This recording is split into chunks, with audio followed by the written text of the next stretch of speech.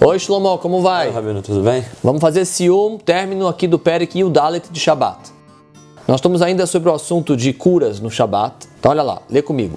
Aroshesh Beshinav Loigma Baenet Ahometz. Alguém que está com dor de dente, ele não pode chupar algo com vinagre para amenizar essa dor de dente. Aval, metabelu kedarko. Mas ele pode mergulhar um alimento no vinagre e comer. E se por acaso esse vinagre que estava no alimento curou a dor de dente dele, curou. Mitrapé, mitrapé. Se curou, curou. O que ele não pode é pegar um algodão, pegar um pano, mergulhar no vinagre e ficar chupando esse pano para curar a dor de dente dele no Shabat. Mas, Rabino, a pessoa ela pode tomar o vinagre diretamente? Pode. Se ela quer engolir, se ela vai engolir o vinagre e tomar, não tem problema. Não pode pegar e ficar botando no dente, chupando só direto, diretamente no dente. Continua a Mishnah. Aroshesh bemotnav lo yasur yain. Alguém que está com algum tipo de dor, tá? ou dor na barriga, por exemplo, algum tipo de cura que se fazia na época da Mishnah, ele passava um tipo de vinho no local, veahometz ou até mesmo vinagre, ele não podia fazer isso. Aval, porém,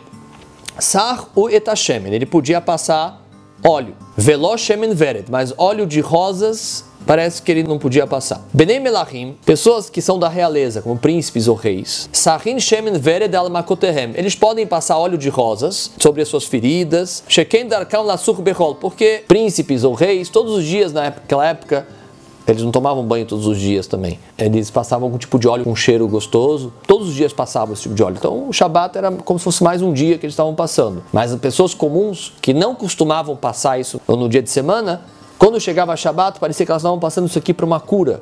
E aí não pode parecer que ela está se curando de alguma coisa. Fala Rabi Shimon, Rabi Shimon ele discorda dessa ideia. Ele fala assim, Rabi Shimon Omer, Kol Israel benem melachim chem. Todo Yudi é como um príncipe, de acordo com o Rabi Shimon, poderia passar esse óleo de rosas no corpo. Mas Allah não é como o Rabi Shimon. Tá bom? Mas Altov e Shlomo, até a próxima. Até.